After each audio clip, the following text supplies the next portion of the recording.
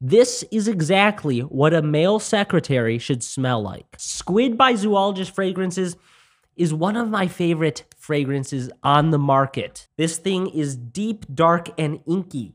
It smells like a squid. As unique and weird as this is, it's also wearable. You could put this on and go to class or work in the office, and you're not gonna offend people. People might think you smell a little odd, but a lot of people will probably like it and ask you where you got it.